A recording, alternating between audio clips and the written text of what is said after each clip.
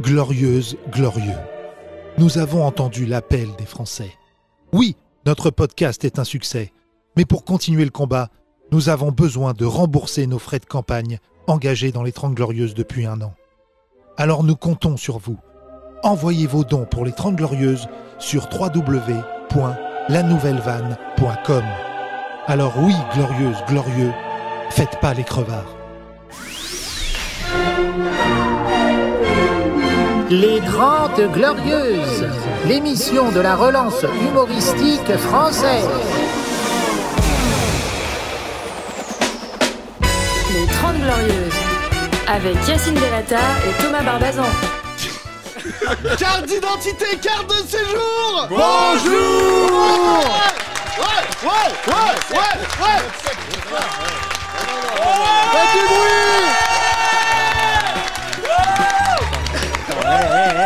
Bienvenue à tous, bienvenue à tous au podcast Les 30 Glorieuses avec aujourd'hui la présence de l'élite de l'humour grillé pour m'accompagner Thomas Barbazan. Merci.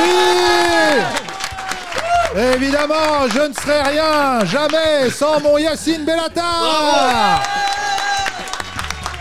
Nous avons d'enculer notre invité, mais avant tout, un chroniqueur, quelqu'un qui produit l'un des plateaux les plus succulents de l'humour français. Il a lancé tout le monde sans toucher un euro, Sundambele Ouais, Merci bénévole. Et notre invité, mesdames et messieurs, depuis 24 heures, c'est partout. Il est la fierté des Kabyles à Présidane. Il joue des spectacles durant des décennies. Les enfants qui sont rentrés en CP voir son spectacle ont arrêté de le voir lorsqu'il passait le bac. Je vous demande d'applaudir cet escroc, le comte de ouais, Salut les Noirs et les Arabes On a des blancs, on a des blancs. On a deux blancs, ça va. c'est Levez la main, les le- Blancs. Le quota, le quota Alors, blanc. alors, Ah, ils sont alors, là, alors. ils sont là, ils Alors. représentent. Soun baisse la main. Même, même ce côté Euh, ça fait plaisir de voir Samy, mesdames et messieurs. On a commencé ensemble il y a 20 ans, euh, grâce à sa relation avec euh, Michel Drucker, qu'il a Céus sur le canapé rouge. Il a pris une autre trajectoire. Il cartonne dans des villes comme Nantes, Dessines, des villes de province qui sont fiers d'utiliser l'argent de la mairie pour acheter son spectacle, qui vaut 7000 euros. Sachez. Non, vrai, c'est vrai euh, double, double, double. Oui, 14 000 Tu joues avec C'était avant ça. Incroyable, aucun jeu de scène, aucun charisme, et pourtant il cartonne. Tu vois Planche partie- Gardin Bah Planche Gardin. C'est Ah, super. On a un jeu de mots avec- C'était tout pour moi. Bonne soirée. C'était Yacine savez, eh, les amis, on commence à l'époque. Yacine, on a commencé ensemble 2006. C'était le plus nul d'entre nous. Rappelle Juppé à l'ancienne, il disait c'est le meilleur d'entre C'est le plus nul à l'époque. Donc il a bien progressé. Ça veut dire même, il était même derrière Frédéric Shaw. C'est pour Ah vous ouais, wow. C'est vrai que c'est commencé chaud. Ah, on a commencé, il y avait une équipe de dingo. Patson, et Bah attends, frère, Mais ta le gueule, tu sais pas que tu sais pas présenter. Laisse-moi prendre le lead. T'as déjà présenté une émission hein, J'ai présenté des émissions. Euh, bah. J'ai bossé avec Drucker, je sais pas si ça vous parle. Ah, Il y a un petit public de Drucker, là, les vieux au fond. Là Ah je oui, vois, ils, sont- ils viennent d'arriver. Ouais, je vois, il y a ah du bah ch- ils sont arrivés là. Faites du Ouais. bruit, mesdames et messieurs, ça Asseyez-vous. s'appelle les 30 Glorieuses, et c'est le compte de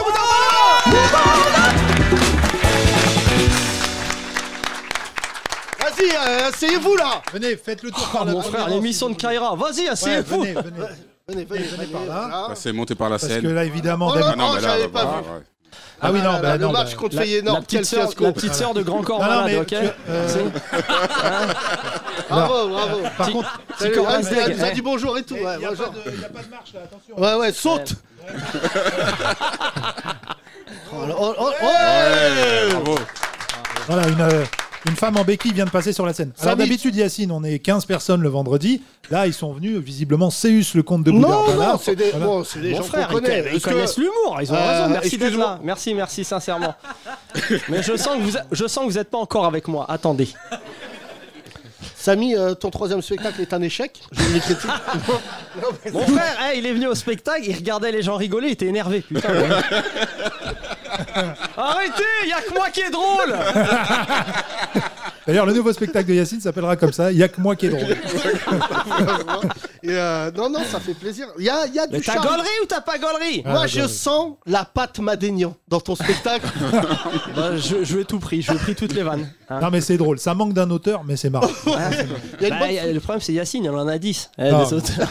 Toi, t'es un auteur ou t'écris tout tout seul toi? Non, j'écris seul tout, mais bon, je fais beaucoup de, de traduction, je sais pas si c'est américaine. Ah, comme Gad. ah, non, non, non, non, je, je Non. bosse tout seul. Mais non, mais euh, je pense que parfois, euh, il faut se faire euh, aider. C'est pas un souci de se faire aider. Sur ce troisième, non, mais euh, peut-être que le quatrième spectacle, Nous, on euh, est là, j'aurais hein, besoin on sera de. toujours là pour Bah, toi. j'aurais besoin de toi, Soon. Bah. C'était tout pour moi, c'était Yacine Bellatar. Mais c'est nul. Ah, j'arrête. Euh, je rappelle que euh, t'es l'élite de l'humour Me français. hein. forme ta. De quoi tu parles? Moi, l'élite de l'humour français? Bah, euh, qui grand aime le conte de Levez la main dans la salle? Voilà. Ouais, c'est Ah, bah, gens, tous. voilà. Qui a vu son spectacle? Euh, euh, Voilà. Ça a Son travaillé dernier avec- spectacle, Ouais. le, 3, le troisième Ah oui, Ah fais tourner le micro. Ouais, donne-leur le micro, on va voir. Inch'Allah, il dit c'est naze. Ah, mon frère, eh, C'est là-bas, regarde. eh, je le reconnais, il est venu avec un dictaphone. C'est toi qui l'as envoyé. C'est nul, c'est nul. Tiens, donne-lui là. Non, il est peut-être venu au rodage. C'est le mec qui est en panique. là à gauche. Non, non, là à gauche, à gauche. Combien de temps que tu le joues, Samy, maintenant ce spectacle? 4 ans. Euh, non, ça fait. C'est tout neuf. Bonjour. tous les vendredis, Bonjour, comment tu euh, t'appelles? Morad, Morad, tu fais quoi dans la vie? Responsable client et vente web. D'accord. Est-ce que tu penses que le spectacle le plus attendu du conte de Boudarbala, ça va être le quatrième et que le troisième, c'est juste euh, un échauffement? Bah, le problème, c'est que j'ai vu le 2, j'ai fait le rodage du 3 et j'ai revu le 3 fini. Mais T'es son frère ou quoi? C'est lui le même, co-auteur. euh, même Samy, euh, les membres de sa famille, ils sont pas au courant T'es- qu'il joue autant. T'es de quelle origine? J'ai rien. Ouais, où ça? Euh, côté Tlemcen. D'accord. Ah ouais, c'est tout, c'est tout. Voilà. Voilà, y a pas, on discute, hein, le tranquille. 92, ça, c'est ça Hein Qu'est-ce que tu penses du troisième spectacle? C'est important ce qui va se passer. là. je le vois mal en fait, euh, Morad. Je peux pas le, menacer Fais euh, comme des yeux. ça, regarde, tu connais le théâtre, regarde, tu mets ta main, tu mets ta main et tu le verras mieux. Vas-y, Mourad. Attention, il y a des photos. qui part en couille. Eh, imagine, eh, journaliste de Télérama caché au fond. Avec la vis. Bon, C'est c'est des fini. photos. C'était tout pour moi. Celui qui le met sur TikTok, je lui donne 50 euros. Hein, Revenons à toi, Mourad. Je t'ai dit, il veut me niquer la il veut me niquer ma vie. Bien Bon. rodé par rapport au rodage. Bien Ah, rodé. bien, par- bien. Ok. J'ai l'impression que Mourad est chroniqueur pour les 30 glorieuses. Non, très cadencé en fait. Très cadencé. eh, Mourad, t'as gaulerie, mais t'as tu crois que gaulerie. c'est un hein. peu j'ai de gaulerie, j'ai casse-tête gaulerie. T'as gaulerie. J'ai gaulerie, t'étais sur mes côtes pendant 10 minutes. euh, T'as ouais. t'as passé Ah, un c'est bon pour ça qu'il se moment venge. Non Pardon T'as passé un bon moment Très bon mot. T'as lâché ton oseille Bah oui. Ah, oui. ça c'est bien. C'est combien la place C'est combien cher. Ouais, C'est des places euh, tranquilles, pas cher, 40 balles. 40 40 balles. Là, je rigole. Non, c'est quoi? C'est euh, c'est, euh, une Non, vingtaine 25, d'euros? 25, Ouais, c'est je crois. 25 euros. Mais c'est honteux. c'est- honteux. La vie de ma mère. c'est Combien- tes places? Bah, C'est Moi, pareil, mais moi fait- c'est 15 pour ceux qui sortent du placard. Et après j'ai un tarif euh, 20, 20, 22. Ah, mais lui, Ouais. il fait 3 heures, frère. Moi je fais 3 heures. Mais hein. tu joues? Ici. Bah, c'est normal, t'es ma. Ah, tu- ah, ça charrie les théâtres. T'es ma, t'es ma Je rappelle cave. que t'as Non, racheté eh, le théâtre du les République. amis, eh, je Il y a rigole, des vous savez fantômes que- de eh, chansonniers C'était qui le disent caveau de la Couille, République. nous, you. Eh, ouais, vous rigolez, vous savez qu'ici c'est un théâtre historique aussi. C'est Bien un sûr. des Ouais. premiers théâtres à Paris, théâtre de 10 heures. Non, mais c'est, euh, Ouais, ils c'est ont la vrai. même histoire, un peu caveau de la République et théâtre de 10 heures, c'était les. C'est pas marrant ça. c'est, c'est quoi C'est votre stagiaire ou quoi Oui, oui. C'est vrai, c'est vrai. Arrête de rigoler quand c'est pas drôle c'est- vrai, que t'as une Rappelons l'histoire du, du République, le- qui était Non, le non, caveau de la eh, le République. 10 heures, vraiment, c'est un vrai truc Et donc, historique. ce qui- c'est vrai, t'as raison pour aller euh, plus loin. Ah bah, c'est que suce-moi les gens- alors. les gens Le mec, il drôles. part en couille. Les gens drôles jouaient aux 10 heures il y a un siècle, et tous les, tous les estropiés, les borgnes, jouaient au République. Au caveau de la République. Tu sais qui a créé le 10 heures à l'époque? Euh, non, Eh ben, C'est Charles Bouvet en fait, c'est un ancien, euh, voilà, c'est un je vieux de la vieille. pas. Et qui a créé le caveau de la République? C'est le même. Charles.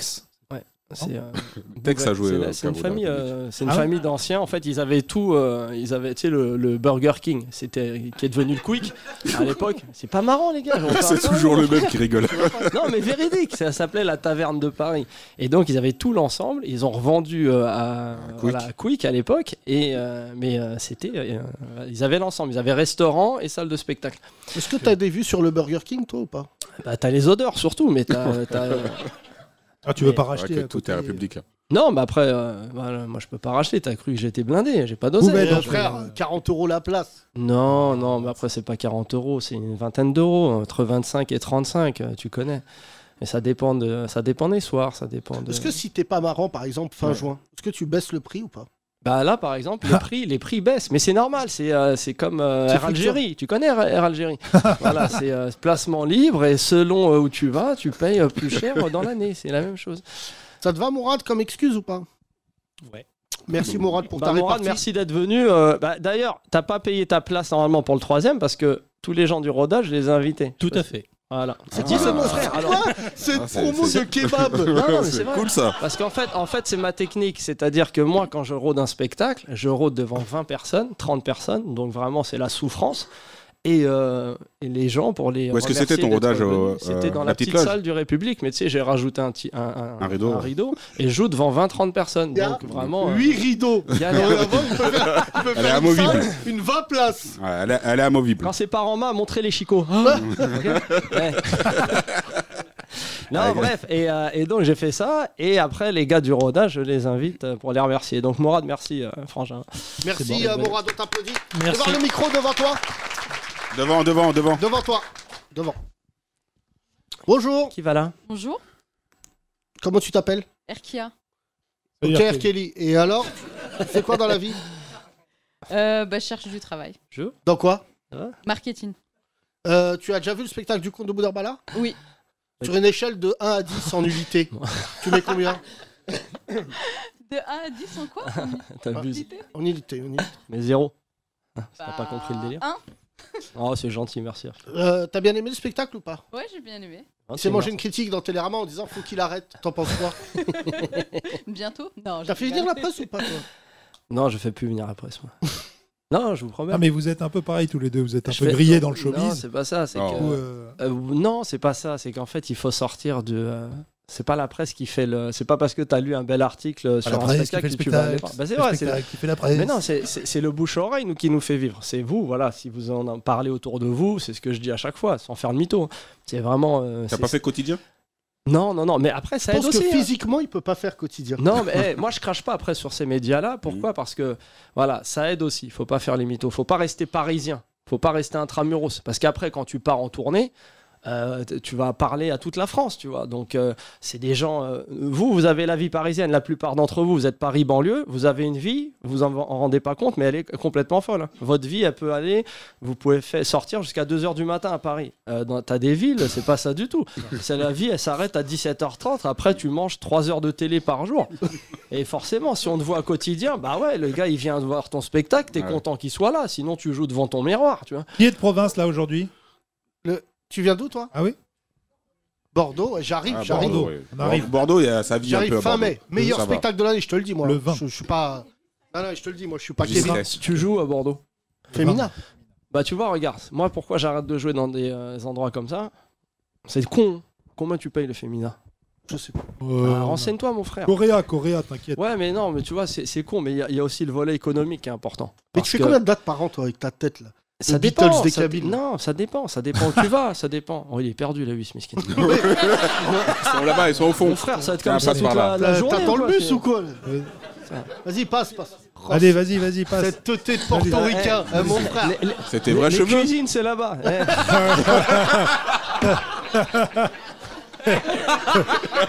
Prends la photo, Télérama Non, rigole. Ah, ça part en couille. Tu sais que là, là, là, là, là, vous allez me mettre dans la merde avec vous. Mais je t'ai vu là, chez Augustin Trapenard, mais quel suceur. Mais c'est pas suceur, mon frère, au contraire. Non, C'est l'émotion, allez, casse-toi de là avec ta tête. T'habites au-dessus d'un cimetière. Mon frère, eh, t'es mal. Eh, euh, continue comme ça, j'appelle Eric Nolo, il va te défoncer ta gueule. Vous avez vu son embrouille de mongol avec Nolo Facho, quoi Tu me traites pas de facho Mais ferme ta gueule, mon frère Mais rentrez chez vous, vos embrouilles de fatigués Je vais me lever, hein. Je vais me lever. Ils sont bourgeoisés, c'est ça le problème. J'ai l'impression que le clash a commencé. Hein Attention, générique du clash. Accusant 80 kilos à la pesée. Marocain et champion de l'humour, il a déjà affronté Éric Zemmour, Jean Messia et un Tunisien sans papier sur le boulevard Clichy, Yacine Bellata. Accusant 30 kilos de moins que son adversaire. D'origine algérienne avec une barbe parfaitement taillée. Il manie avec perfection la balle de basket et l'humour français. Le comte de Bouderbala. Je trouve que la présentation était beaucoup plus en faveur. Euh, De, Ouais. C'est normal, il joue à l'extérieur, on est plus sympa. Enfin, Donc on ouais. rappelle les règles pas de vanne en dessous de la ceinture, pas de vanne euh, Pas les volée, vêtements, pas de vanne pas volée les- aux pas les Américains. procès, Ni les et vêtements, pas, euh, ni les mamans. Ni oui, ni non. Hier, cet enculé m'a envoyé Eh. des messages dans la nuit, là. De, de provocation, j'ai pas craqué. hein. C'est quoi Déjà, est-ce qu'on peut revenir sur la présentation sous Prozac là? Qui a fait ça? Mais oui, c'est c'est- c'est la Ah, c'est notre stagiaire, justement, Oh voilà. là là. On applaudit Voilà, Bravo, Roman, Roman. on applaudit Roman. Oh, Euh, Qu'est-ce que. C'est toi qui as écrit le texte Roman, t'as 15 ans, t'as 15 ans. C'est lui qui a écrit les C'est vannes vrai, et t'es tout. stagiaire Il a hein, toi 15 ans, il a 15 ans. T'es Ah, stagiaire c'est vrai qu'il a 15 ans. Hein T'es vraiment stagiaire ou Mais parle Putain, Tu vas pas traumatiser, il a 15 ans, on te dit. Tu parlais toi à 15 ans Mais je vais le bifler. T'es à la hauteur en plus. Hein Télérama Ah, je rigole. Romain. T'as jamais volé, t'as jamais volé des vannes, toi, Samy? Non, mais euh, je pense qu'on s'inspire tous les uns des autres. Oh là là, les Non. phrases de suceur, il va Bah, nous faire ça tout le podcast. parce allez, c'est pas ça. Moi, je vais t'expliquer un truc. Souvent, c'est qu'on on est tous marrants. Moi, c'est ma théorie. Je pense qu'on est tous marrants. Voilà, on va avoir des humoristes parce que inconsciemment, on a envie. Yacine, il D'être dit marrant, l'inverse. d'aller sur scène. Mais c'est vrai. Toi, avant, t'étais dégueulasse. Maintenant, t'es beau. Mais C'est vrai. Mais il est fou, celui-là. Putain, mais t'étais mauvais. J'étais, j'ai vu. Moi, j'étais mauvais. Eh, je vais ressortir les vidéos, tu vas voir. Mais lui, il est fou. Oh là là, ouais, Mais ça mon commence. frère Attends, ça, Ça va. on se dit les choses aujourd'hui. T'étais de la merde, t'es plus drôle. Eh, c'est la cour des miracles aujourd'hui, c'est quoi le bordel Rachid, on n'est pas à Lourdes, hein, oh, vis comme ça, oh. L'autre, elle vient avec les béquilles, un deck, il vient gros. Qui se passe, mon frère C'est ça ton public C'est c'est Il s'appelle. Rachid et il est déjà passé dans ce podcast. Et même en fauteuil, il te nique à la bagarre. Donc euh, fais gaffe à toi, euh, Samy. Ah, je rigole, Ouais, Rachid. parce je que l'autre fois, on m'a demandé que devient copie comique. Mais j'en sais rien, moi, Bah, il c'est est pas là, moi. c'est moi. coucou. C'est vrai que ça Il fait se longtemps porte qu'il a un pas. charme. Ça fait longtemps qu'il a pas sorti une vidéo pour monde le défoncer cherche. la vie d'un humoriste. C'est Le vrai. prochain, c'est moi. Ouais. plus rien. Ce qui est bien, c'est que par contre, véridique, on sent le passage de copie comique. Ouais, parce que Il y a- maintenant. le ça- niveau, il s'est affaibli parce c'est comme- qu'il y en a plein qui ont arrêté de péter Ah des oui, parce vannes. qu'on a tous Et du coup, maintenant, il reste que les meilleurs. Il y a des gens qui continuent. hein. Il y a des mais gens qui continuent. hein. Je te mets dedans alors que t'es sur le déclin. Eh, ouais, grave. Euh, Samy, t'as euh, déjà fait l'underground, toi? Non, jamais, mais après, c'est ce que j'expliquais à Soun, c'est que quand tu là- joues souvent, non, mais c'est vrai, quand tu joues souvent, c'est compliqué d'aller sur les plateaux. Ah oui, surtout moi, en les fait, samedis. Surtout le samedi soir, ouais. Bah, T'as ouais, fait un plateau là, une secte. euh, Ouais, j'ai fait un le plateau. comte d'Oubou Derbala et ses amis. et ses là. amis, Et mais, j'ai le- arrêté parce que j'ai pas d'amis en fait dans le. Je te Il promets. était tout seul. Et en Un fait, plateau tout seul, c'est vrai que- eh, il est vraiment formidable. Eh. Ah, mais c'est moi. Tu vois que t'es Rama Eh J'avais perdu l'habitude. Eh, mais bref, Quel connard. C'est pas possible. eh, j'ai fait Bouderbala and Friends. Mon frère, j'ai pas d'amis. J'étais- J'appelais les gens, ça va, ça te dirait de venir sur mon plateau Et en fait, je me suis rendu compte que ouais. les mecs, c'est des divas en fait. Ça fait un an, vrai, deux ans, vrai. ils font Alors des pourquoi spectacles. tu dis qu'ils Ils sont tous marrants? Ils sont pas tous Non, marrants. non, t'en Il y as en a qui se la racontent beaucoup plus Oui, qu'ils sont marrants. Oui, mais c'est pas ça, c'est pas le problème. Tu peux te la raconter et être très bon sur scène. Regarde Gaspard Proust, il se la raconte, il est très bon. Mais c'est vrai. Bon, je vous dis Euh, les choses. il- Il- il- tu vas le rencontrer, tu vas envie de, très envie de lui facho, en mettre une, dans- dans- tu vois, mais très très fort. Mais euh, il y en a plein qui sont comme ça. Mais moi, ce qui m'intéresse, c'est le cerveau derrière l'artiste. C'est pour ça que voilà, là on est là. Troisième Moi- phrase moi- de suceur. non, c'est pas ça. C'est que si je me te, te si, si- le cul, non, c'est pas ça. Je t'explique. si je restais sur le truc de la réputation, je te dis franchement, je le dis devant les gens, je viendrais même pas dans ton podcast. Mais va te faire cuire le cul. vrai. Je te donne pas. Quel connard. Allez, casse-toi, mon les frère. gens, mais les gens te détestent. Il vient de mettre un hypercute. Cette merde. Ah, vous le sucez comme ça C'est Toi aussi, absolument. Roman Tu me fais ça à moi Mais mon frère, Et arrête de filmer, toi C'est qui cette connasse là Tu respectes. Le seul humoriste sponsorisé par Camailleux. Mais tu me dégoûtes là. Alors je vous explique. Samy c'est euh, vraiment euh, plus que la famille. Et Ah bah, quand on- suce-moi malheur T'es le mec Et quand à l'époque on sortait le soir ensemble et que nos vies le permettaient, C'est vrai que- on s- Very Bad Trip à côté, c'était du méchant. Audiard. T'étais très méchant à l'époque. Ah là là. Là, tu fais le mec gentil Non, là. Alors, je vous explique, Samy, pourquoi il ira en enfer Je suis devenu normal. je suis Au-delà euh, d'alpaguer des handicapés et des famille, je suis Indiens. un- je suis un Mais ta gueule, je parle Ce mec il croit qu'il est chez Mireille Dumas, je suis un mari modèle. je suis- Mais mon frère,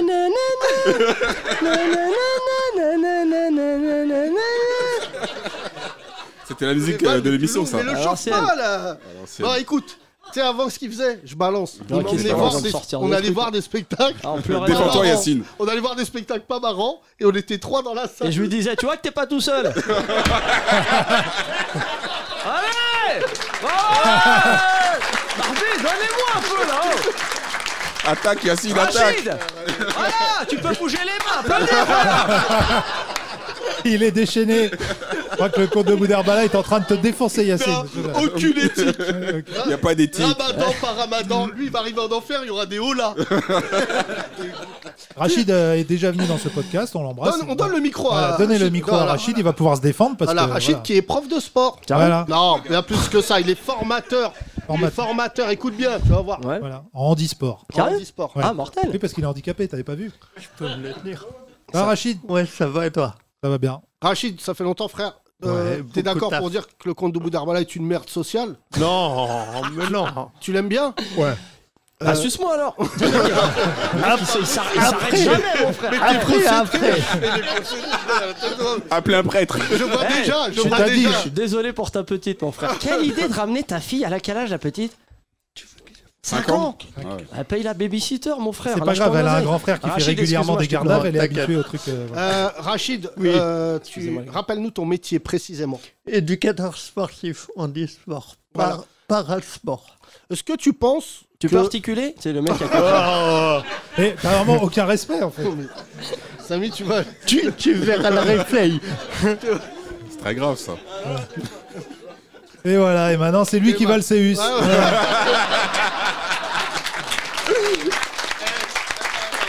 Eh,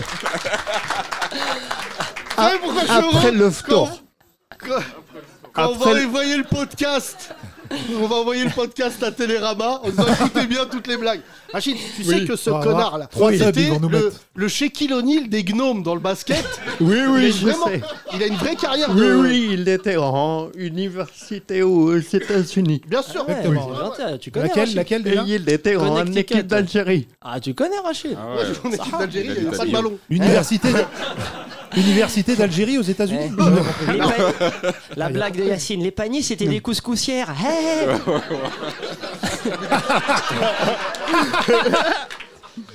C'est la blague de Yacine. Toi, ta prochaine affiche, ça va être As.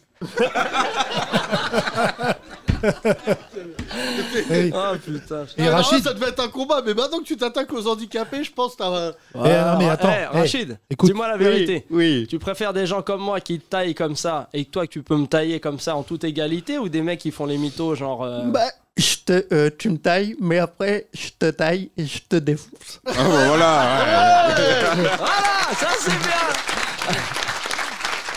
Et euh, Rachid, grâce à toi, on connaît quasiment toute l'équipe de handi basket français parce qu'il y en a Ouais, certains qui sont ouais. venus à Nice nous voir euh, en spectacle, voir Yacine. Oui. Et euh, toi, tu, tu les connais tous en fait, Oui. basket. Et j'ai joué avec eux. Ouais. Et ils m'ont appelé le lendemain. Ils m'ont dit Ouais, tu nous as même pas prévenu que vous descendez.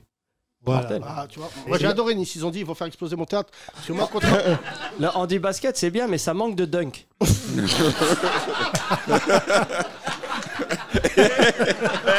oh République tous les week-ends. Mais, Et, eh, et dire que c'est gratuit tout ça, c'est un truc de fou. et tout ça. Bah, faites des dons pour le podcast, mesdames Ouais, et messieurs. et il y a un petit, Ouais, gardez votre oseille, ça va. il y a un petit pot à la sortie, faites un don, des billets en bande de Euh, crevards. Faites Rachid, pas un don, venez à mon spectacle. Oui, voilà. Et il n'y a Rachid. pas des aussi bonnes vannes qu'aujourd'hui. il n'y a euh, pas d'accès handicapé à ton spectacle d'ailleurs. Si, si, si. Mais si. après, si. euh, on- Après, c'est Ça pas va, a pas remonté. Non. d'ascenseur. Les gens Je ils l'ai jettent vu. le long des escaliers. Un toboggan, il y a un mais on, toboggan. on filme, ça fait du buzz. Rachid, la tête En en fait, je t'ai vu. euh, j'ai vu ton dernier spectacle. Lequel Le 3 Le mien M- Le tien. Sérieux Ouais, à Bois-Colombes. T'étais en rodage. Ah, bois colombe. À Bois-Colombes Ouais. Sûr. Je crois que tu confonds avec Jal. Non, non, non. C'est vrai que c'est le même peu. À même Bois-Colombes. corps. C'était quand, mon frère, ça? Oh là, il y a un an. Ah, donc c'était un Ah non, rodage. t'étais déjà en rodage. Non, non, non, t'es sûr, mon frère? Là, t'es sur le 3 ou le 2 Le 3. Non, Ah mais non, toi, bah, t'as je dû l'ai assister pas à la vu. fin J'ai du vu le 1. 2. Ah, c'est le 2. Le 2, le 2. Ah, Parce qu'on rappelle que le 1 a duré de 87 à Je te 2008. jure. Combien de, Non. combien de temps il a duré le premier spectacle? 7 ans. Mais mon frère. Bon, euh, mais attends, c'est Imagine, ça normal. veut dire que la Non, petite, mais là, elle est attends, au non, mais je collège. t'explique. T'imagines Eh, Remets les choses quand- dans le contexte. Attends, attends. Arrête de parler Oh là, c'est- C'est pas le Rachid podcast Ouais, mon frère, dis-moi. Ton premier spectacle, au début, j'ai eu un élève qui pouvait pas marcher. Sérieux? Sept ans après, il marchait. tellement tellement qu'il était long. Eh, C'est lourd ton spectacle. Ouais, Rachid, oh Eh, prends-le Alors- comme auteur sur le 4 Non, mais c'est intéressant. Samy, prends-le vrai, comme tu- t'es dit que sur ça le allait pas marcher Ouais, peut-être réfléchir qu'un complet. Non, t'as pas compris la vanne. pas. Il a dit il, a, il avait un copain qui savait pas marcher. Il a, 7 Ah. ans après, avec la durée de ton spectacle, il a réussi à marcher. Il a Ah, réussi à d'accord. marcher. Tu peux rester en traduction. Là, d'accord. Ah, Eh, bah, c'est marrant. Rachid, ah tu ouais, tailles. C'est bien Eh. pour une fois que tu tailles pas autre chose. Rachid, C'est nul, ça. c'est nul. Ah, Après bah, le swap, c'est swap Après le Ça tour. tourne qu'autour de. C'est toi, c'est toi, c'est toi. Nous, pas on fait pas ça, nos auditeurs, ils savent de quoi on est capable. niveau. Tu nous fais une Kevin Razi aiguë. Samy, comment ça se fait que tes noms de spectacle, c'est 1, 2, 3 Tu Parce que le mec se prend pour Rocky ou Rambo. non, euh, pourquoi Non, parce que je pense que les titres, ça, ça sert, c'est réducteur. Titres. aussi, du coup, fait ça. Ah bon? Il a fait deux aussi.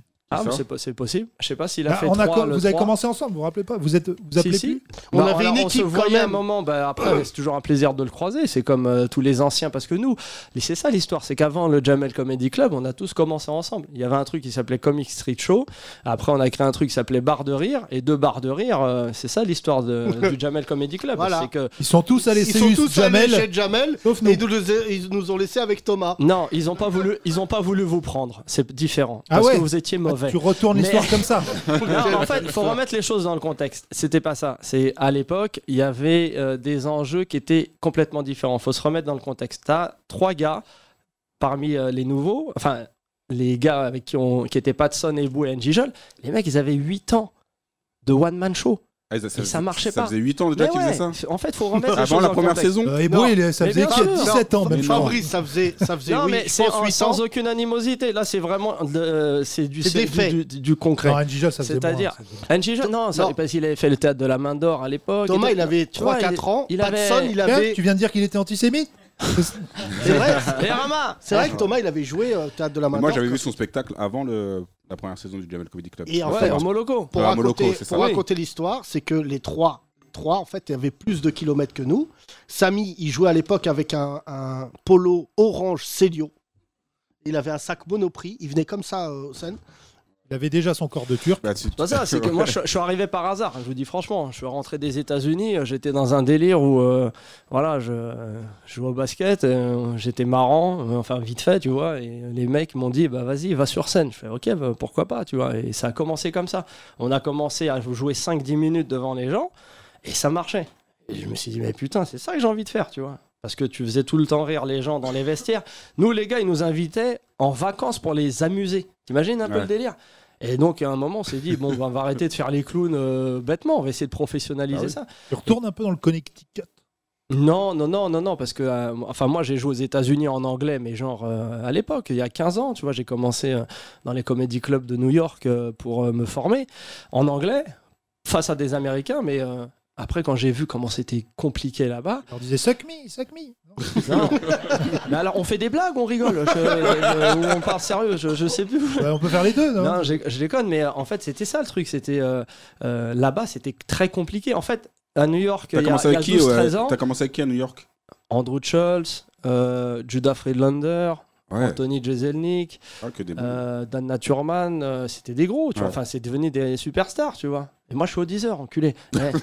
non, je déconne, mais tu vois, c'était c'était du lourd. of the Republic. Mais euh, à l'époque, euh, tu vois, c'était, euh, comment dire, euh, ce qui se passe maintenant ici, c'est ce qu'il y avait là-bas. C'est-à-dire, il y avait des comédiens partout.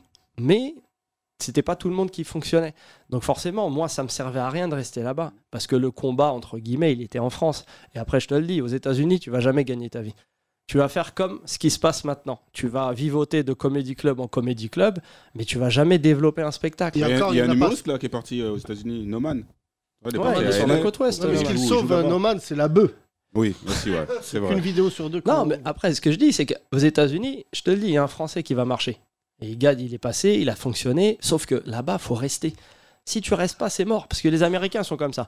Tu vas arriver demander Eclipse. Il est à New York, il sait, il, il peut témoigner. Si tu es là, il va se passer plein de trucs. En une journée, tu vas rencontrer 30 personnes, c'est génial. Mais si tu t'installes pas, c'est mort, il t'oublie. Ça va trop vite. Tu vois Donc, euh, Alors que nous, en France, tu peux arrêter 4 ans. bah, en fait, c'est voilà, c'est pour revenir à ça. Pourquoi moi, euh, pendant 7 ans, j'ai tourné mon premier spectacle C'est pour aller au-delà des médias. Parce que les gens, tous les soirs, tu vas essayer de les convaincre les yeux dans les yeux. Mais après, c'est tes potes, c'est tes ambassadeurs pour la vie.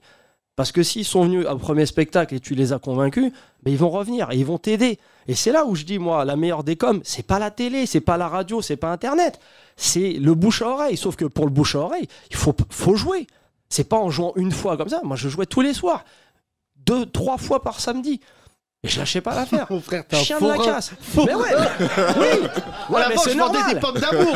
je les ramenais chez eux en Uber. Mon frère, c'est bon, c'est- on a compris, t'es marrant, t'es marrant. Mais non, mais non, mais ce que je veux dire, c'est qu'il y a, il y a plusieurs façons de, de- que ça fonctionne. Les médias, regarde mon frère, les médias, t'as accès aux médias. Voilà. Tu peux aller en télé. Mais lui, c'est pas Mais pour être marrant, c'est pour se péter avec des fachos. Oui, mais c'est ça le problème. Toi, va plus en médias, fais des gobelins et arrête de te battre avec Eric Nolot. mais tu verras. Non, mais je te promets, Moi, ça je va trouve changer. que c'est plus Mais marrant non, de se moi, battre avec qu'il y a plus Eric Nolot. d'endroits, surtout en télé. Mais la télé, c'est mort. Pourquoi? Parce que t'imagines là les blagues de connards que je fais là comme ça, les trucs de ouf. Imagine, je fais ça. Mais t'es ouf ou Chez Drucker, ouais, chez Drucker, ouais, bien sûr. Il vient, Drucker, il vient de me que- chercher. Tu crois que c'est Roman qui va me défendre Il va te faire une bande-annonce. Tu crois que c'est toi qui va me défendre? Oui, Yacine, vous connaissez le compte Non, non, je me suis toujours méfié. euh, espèce de Je voulais lui passer un message. Suce-moi. Eh, Il y a Non, plein mais de mecs c'est en ça. prison qui Eh, vont dire la même chose. Je suis au tribunal de commerce, le caveau de la République. C'est une proposition à 4 euros. Ah, L'euro symbolique Ah Non, mais bref, t'as compris ce que je voulais te dire. Bon, on avait une équipe de ouf hein, quand même. Non, y Gijol, de qui dingue. hier nous a passé le bonjour, mon cher Oui, je Thomas. sais, euh, Charlotte. Est allée le voir hier. Ouais. voir en C'est fou hier parce que tous les gens de ce crew, à peu près, euh, barre de rire, tout le monde a réussi. Quasiment. non, mais t'avais une équipe de ouf. En fait, moi, c'était quoi l'histoire? C'est qu'à l'époque, sur Barre de Rire, moi, je, je vous dis la, la vérité. hein. à l'époque, les, euh, les deux gars que vous avez à côté de vous, ils bossaient à Génération. Ils faisaient la, ma- la matinale de Génération. Donc. euh, C'était moi- des stars à génération. Ouais, ça marchait très bien. 4 millions d'auditeurs tous les matins. Et donc le truc, c'est qu'ils voulaient euh, à- à- intégrer euh, l'équipe. Et moi, je me disais, bah, ça peut être très sympa, ça peut être une belle opportunité. Donc en fait, on a essayé de faire des synergies bah, voilà, de, de, de- qualité. C'est-à-dire que les gars, ils venaient avec l'émission et ils intégraient la troupe en tant que stand-upper. Et moi, je disais à Thomas, Thomas, essaie de faire un truc sur scène, essaie d'écrire, essaie de faire même les chansons. Je sais pas si tu te souviens de ça. Et c'était un petit peu ce qu'il faisait. T'es en train d'essayer de dire que t'es à l'origine de ma carrière, Samy? Euh, J'aurais pas cette outrecuidance. Tu veux 10% mais- Tu veux 10% J'a- j'a- J'y arrive. Et- mais Non, moi, je faisais la présentation et c'est vrai que c'était un peu, euh, c'était un peu. Bah, c'était. J'ai un souvenir mitigé parce que je passais entre chaque euh, c'est humoriste. ça. Mais tu faisais DJ chelou déjà à Non, je faisais pas du Non, chelou. Mais en fait, le truc, c'est quoi C'est parodies à la radio, là, là, pour le coup, c'est pas pour tu sais. C'est que Thomas, ça a toujours été un mec très très rama. Beaucoup plus rama qu'Yacine, sauf que c'est lui qui l'a mis au tapin. C'est l'enculé. Ah, écoute, Ah, l'histoire se renverse. c'est bon, tranquille. L'histoire se renverse. Pour une fois euh, qu'un blanc travaille pour un arabe. Voilà, Ouais. exactement. On a renversé la colonisation. Écrivez bien ça dans mon Wikipédia. Il l'a fait tapiner. Le grand remplacement. En Ouais, direct. ouais. Le gros Et remplacement. donc, le gros remplacement. Et donc, en gros, l'histoire, c'est, euh, je disais à Thomas, bon, Thomas très très rama, mais après, ça, prend du temps, c'est normal, parce que c'est pas évident d'aller sur scène raconter des conneries, tu vois. Donc, forcément, c'est. Après, il faut savoir faire ce qu'on a envie de faire aussi. Et euh, le truc, c'est qu'on avait une équipe de ouf, et ça avait une super synergie, et nous, on promotionnait toutes les semaines dans la matinale, et on cartonnait. Et mais sauf que l'histoire, c'était quoi? Quand il y a une production qui arrive et qui te propose de travailler, qui te propose de la télé, des spectacles, forcément, tu as galéré pendant 7 ans, 8 ans. Tu vois les gars comme des sauveurs. Donc tu vas avec eux. Mais tu sais pas comment ça va se passer derrière. C'est un pari. Et en fait, on n'était pas tous à la même échelle. Donc tu avais trois artistes qui ont cartonné, tu vois, via les médias, et Boué, Patson et Gijol. Et tu avais le reste bah, qui était là, qui essayait de. Tu sais, on était sur le banc, on essayait de jouer. Hein? Et on regardait l'entraîneur. Hein, je peux jouer? et c'était compliqué. Et Yacine, lui, il n'avait pas été intégré dans l'é- dans l'équipe. Bon, il avait un peu taillé Jamel à l'époque. Donc il n'avait pas été intégré. Non mais en plus, c'est la première c'est fois. ce que je te disais. C'est la première fois que dans un podcast avec Samy et, et Fabrice et Thomas sont toujours des mecs avec qui j'ai commencé. Mais vous devez comprendre, il n'y a pas d'animosité avec Jamel parce que en plus, je vais vous raconter Samy, c'est pour ça qu'il est dans mon cœur à vie. Moi, j'avais exactement euh, quel âge? J'avais 23, 24. Mais en- C'était le plus jeune de. de- J'étais le plus jeune des- de, de- de cette génération-là. Et en fait, tu vois tous tes potes partir. Et les autres, euh, Fabrice et Thomas, on s'est pas parlé pendant quelques temps. Et le seul qui a gardé un lien avec moi, alors que j'étais pas sélectionné pour la Coupe du Monde, je sais pas si vous mesurez. Non, mais c'est comme euh, Anelka, je comprends ce qu'il a ressenti. Et j'avais déjà vécu ce traumatisme quand je faisais du foot jeune, quand tout le monde est convoqué sauf toi. Est-ce que Samy- ce ventre déjà. Et écoutez bien cette histoire. Samy m'appelle, me dit écoute-moi. Il me dit je sais que c'est dur et tout, mais écoute-moi, il t'a rendu service. Parce que tu es le seul qui pourra lui dire moi, jamais tu pourras dire je t'ai lancé ou je t'ai pas lancé. Quelques mois après, ce frigo pète les plombs au Comedy Club et t'es le premier qui a quitté. Ouais, non, ah, en fait, c'est. C'est ce que je dis, c'est que parfois c'est un mal pour un bien. Mais pourquoi? Parce que toi, là, en fait, quand ils t'ont pas pris, bah, c'est ce que je t'expliquais à l'époque. Et je me souviens, on était, on était à côté du 10 ça te permet de contourner la forêt. Parce que toi, t'étais pas comme nous. T'avais accès aux médias, mine de rien. T'étais sur Génération. Les gens, ils te faisaient confiance. Nous, on était des connards. On débarquait, on voyait euh, des mecs chelous. Des... Mais jamais ils nous po- posaient, ils nous donnaient l'opportunité. Toi, t'avais Pascal Clark qui t'a euh, reprise derrière euh, sur ton ouais. émission. Euh, t'avais euh, accès au ciné. T'avais accès au. Nous, on n'avait pas ça. Donc je te dis, c'est pas grave. T'as d'autres trucs. Tu contournes la forêt et tu arrives. Sauf que moi, pourquoi je suis parti? C'est pas un délire de ouais, j'ai pété. C'est pas ça. C'est qu'en fait, quand t'as face à toi des gens qui ne comprennent pas ton histoire, moi, je voulais pas être, excusez-moi du terme, je voulais pas être le rebut de banlieue qui vient raconter sa vie de banlieue. C'était pas ça. C'est un mec qui est en France, qui se tape pour essayer d'y arriver, de sortir de sa condition et qui est obligé d'aller aux États-Unis. Moi, c'était ça mon histoire. C'était, j'étais obligé d'émigrer comme mes parents ont émigré du bled quand il y avait la guerre d'Algérie pour essayer d'avoir une vie meilleure. C'est clair. Mais, tu- mais Et tout de en suite, fait, Mireille c'est- Dumas. eh, c'est ça. Chialer, putain, je Rachid, chiale. Écoutez, Rachid écoutez. Du- Rachid Dumas. Et bref, Non, mais surtout, ce que vous savez pas, parce qu'il vous dit pas tout, Samy, un jour, ça a pété avec eux T'as- quand tu t'es retiré. Et Samy, il refusait, comme un koala, de sortir de Saint-Denis. C'est-à-dire, il disait, je lui disais, viens à Paris. Il me disait, non, viens à Saint-Denis. Et avec Thomas, on a pris la voiture. Donc, imagine l'histoire. Moi, je venais de me faire virer. Et je vais voir Samy, c'est le premier qui sort. Et Samy, je lui dis, qu'est-ce que tu fais? C'est pour ça que je vous dis, c'est, on a des longues carrières maintenant. Il me dit, j'écris un spectacle sans faire de, on se souvient, sans faire de Smurf, sans faire le misérable. Mais là, mon Ah, spectacle, je peux te dire, il va plaire à tout le monde. Et cette phrase incroyable, surtout aux blancs. Et c'est vrai. surtout. Non, mais c'est pas un petit détail. Je dis ça pour les jeunes qui sont dans cette salle qui font du stand-up. Samy, il avait la vision, et ça, je le dis sans flagornerie.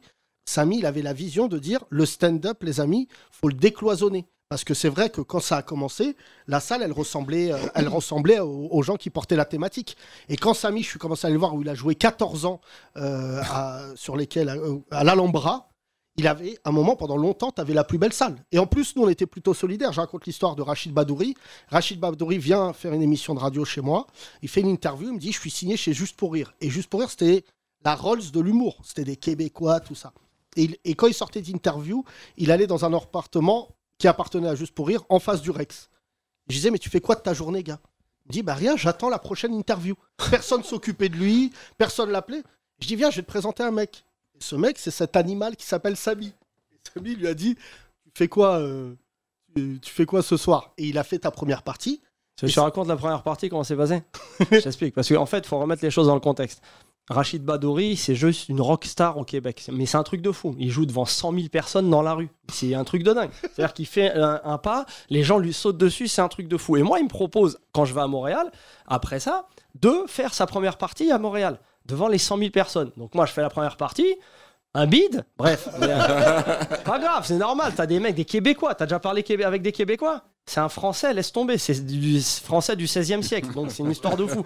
Et donc, moi, je fais la première partie. Je me mange une grosse tatane, mais je suis content. Et, tout, et Rachid, quand il vient à Paris, joue à l'Alhambra. Et tu sais, à un moment, euh, tu sais, mets-toi dans le délire. Lui, c'est une rockstar. Donc il vient, il fait ma première partie, et à un moment il me dit ouais mais j'aime pas le micro, il est là juste avant d'aller sur scène. Il me dit ouais mais non, euh, allez j'arrête, euh, je retire le micro, non je passe pas, je fais pas ta première partie. Je lui ai mis une droite dans l'épaule et je l'ai jeté sur scène. il allait faire la première partie et ça s'est bien passé. Mais tu vois, pour euh, revenir sur ce que tu disais quand on s'est vu à Saint-Denis à l'époque, faut, quand je te dis ça va plaire aux blancs entre guillemets, c'est pas ça l'histoire. Faut remettre les choses dans le contexte. Oui, parce qu'on est encore chez nous, quand même. J'aimerais bien pouvoir un petit peu rigoler dans notre pays. Hein Alors les Arabes, hein, c'était quoi le truc que tu disais C'était quoi la vidéo là La vidéo là.